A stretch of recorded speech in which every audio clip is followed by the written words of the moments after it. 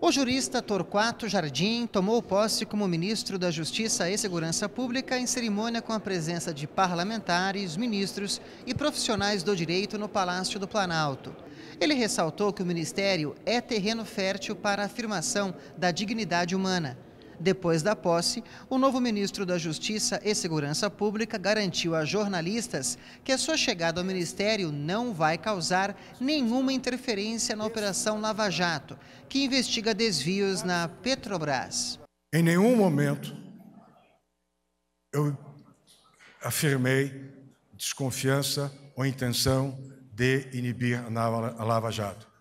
Basta olhar as minhas entrevistas. A Lava Jato é um programa de Estado, não é mais coisa de governo, nem de Ministério Público, nem de Judiciário, nem de Executivo. É um programa de Estado, é uma vontade de Estado, é demanda da sociedade, sociedade brasileira.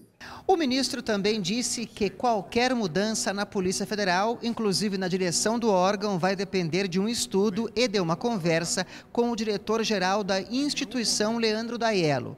Junto com o Ministério Público, a Polícia Federal é uma das responsáveis por conduzir as investigações da Lava Jato. O ministro Torquato Jardim ressaltou que o mesmo cuidado e serenidade adotados para realizar mudanças no Ministério da Transparência, Fiscalização e Controladoria Geral da União, quando assumiu aquela pasta em junho do ano passado, será tomado agora no Ministério da Justiça e Segurança Pública. Garantir à Polícia Federal os meios necessários à sua operação é simplesmente cumprir a Constituição. O presidente Michel Temer ainda falou sobre o atual momento do país. O Brasil vive hoje momentos de grande conflito institucional.